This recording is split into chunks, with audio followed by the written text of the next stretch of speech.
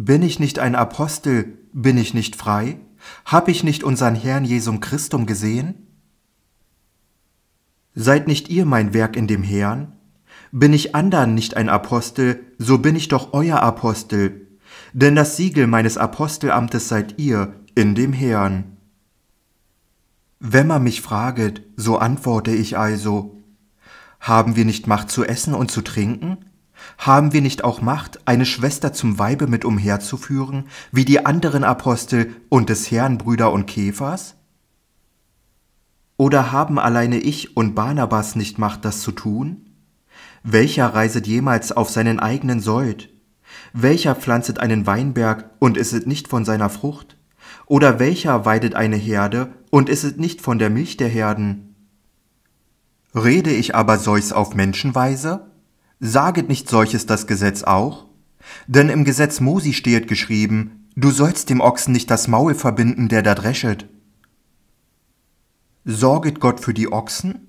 Oder saget er's nicht aller Dinge um unserer Willen? Denn es ist ja um unserer Willen geschrieben.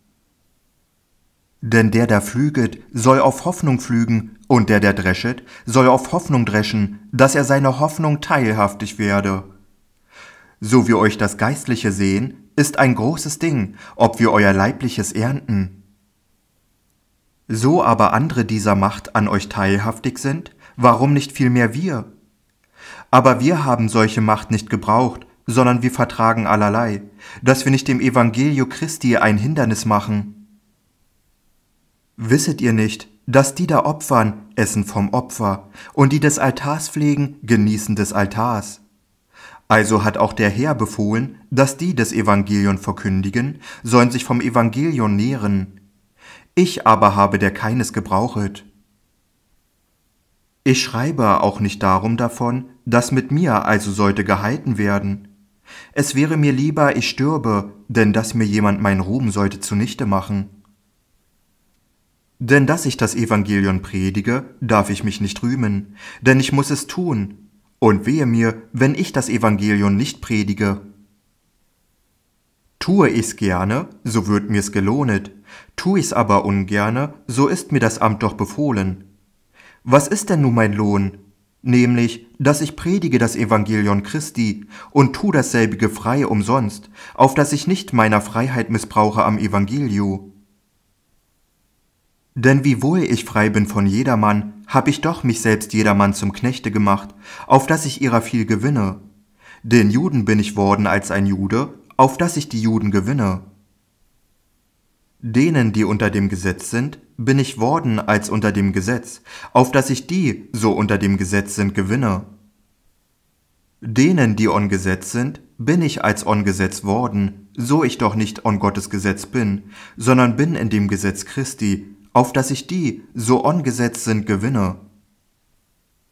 Den Schwachen bin ich worden als ein Schwacher, auf dass ich die Schwachen gewinne. Ich bin jedermann allerlei worden, auf dass ich allenthalben ja etliche selig mache. Solches aber tu ich um des Evangelii willen, auf dass ich sein teilhaftig werde. Wisset ihr nicht, dass die so in den Schranken laufen, die laufen alle, aber einer erlanget das Kleinod. Laufet nun also, dass ihr es ergreifet. Ein jeglicher aber, der da kämpfet, enthält sich alles Dinges. Jene also, dass sie eine vergängliche Krone empfangen, wir aber eine unvergängliche. Ich laufe aber also nicht als aufs Ungewisse. Ich fechte also nicht als der in die Luft streichet, sondern ich betäube meinen Leib und zähme ihn, dass ich nicht den anderen predige und selbst verwerflich werde. Ich will euch aber, liebe Brüder, nicht verhalten, dass unsere Väter sind alle unter der Wolken gewesen und sind alle durchs Meer gegangen und sind alle unter Mose getauft, mit der Wolken und mit dem Meer, und haben alle einerlei geistliche Speise gegessen und haben alle einerlei geistlichen Trank getrunken. Sie trunken aber von dem geistlichen Fels, der mit folget, welcher war Christus. Aber an ihr vielen hatte Gott kein Wohlgefallen, denn sie sind niedergeschlagen in der Wüste.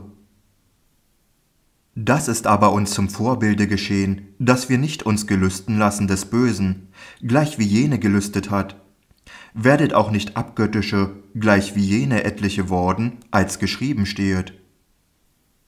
Das Volk setzte sich nieder zu essen und zu trinken und stand auf zu spielen. Auch lasset uns nicht Hurerei treiben, wie etliche unter jenen Hurerei trieben, und fielen auf einen Tag dreiundzwanzigtausend.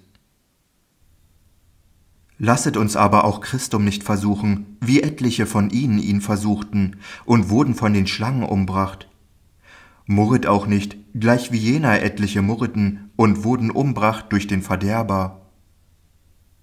Solch alles widerfuhr jenen zum Vorbilde, es ist aber geschrieben uns zur Warnung, auf welche das Ende der Welt kommen ist. Darum, wer sich lässe dünken, er stehe, mag wohl zu sehen, dass er nicht falle. Es hat euch noch keine denn menschliche Versuchung betreten, aber Gott ist getreu, der euch nicht lässet Versuchung über euer Vermögen, sondern machet, dass die Versuchung so ein Ende gewinne, dass ihr's könnt ertragen.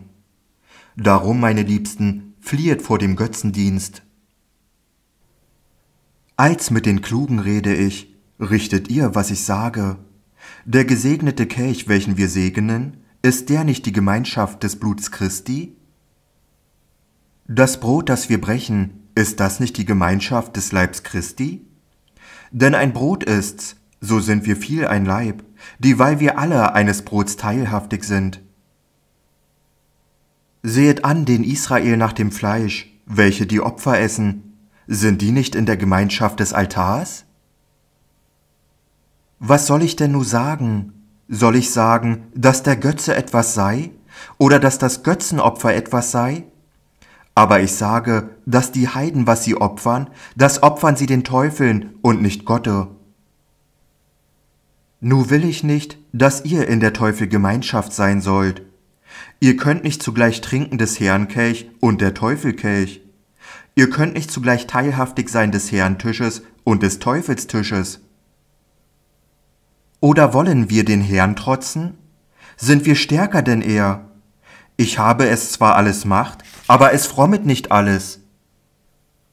Ich hab es alles Macht, aber es bessert nicht alles. Niemand suche, was sein ist, sondern ein jeglicher, was des andern ist. Alles, was feil ist auf dem Fleisch, mag das esset, und forschet nichts, auf dass ihr der Gewissen verschonet. Denn die Erde ist des Herrn und was drinnen ist. So aber jemand von den Ungläubigen euch ladet, und ihr wollt hingehen, so esset alles, was euch vorgetragen wird, und forschet nicht, auf dass ihr der Gewissen verschonet. Wo aber jemand würde zu euch sagen, das ist Götzenopfer, so esset nicht um deswillen, der es anzeiget, auf dass ihr des Gewissens verschonet. Die Erde ist des Herrn und was drinnen ist. Ich sage aber vom Gewissen nicht dein Selbst, sondern des andern. Denn warum sollte ich meine Freiheit lassen urteilen von eines andern Gewissen? Denn so ich's mit Danksagung genieße, was sollte ich denn verlästert werden über dem, dafür ich danke? Ihr esset nu oder trinket oder was ihr tut, so tut es alles zu Gottes Ehre. Seid nicht ärgerlich weder den Juden noch den Griechen noch der Gemeinde Gottes. Gleich wie ich auch jedermann in allerlei mich gesellig mache und suche nicht was mir, sondern was vielen frommet, dass sie selig werden. Seid meine Nachfolger, gleich wie ich Christi. Lasst uns weiterarbeiten und pflichtbewusst die Verantwortung wahrnehmen, die uns gegeben ist. Sucht ein Leben mit Sinn und erkennt eure Berufung. Bringt ein Leben mit Sinn die Fülle in mein Dasein? Wird mein Dasein bedeutsam, wenn ich meine Berufung erkenne? Bestelle das Fibelheft kostenlos und versandkostenfrei auf fibelzeit.de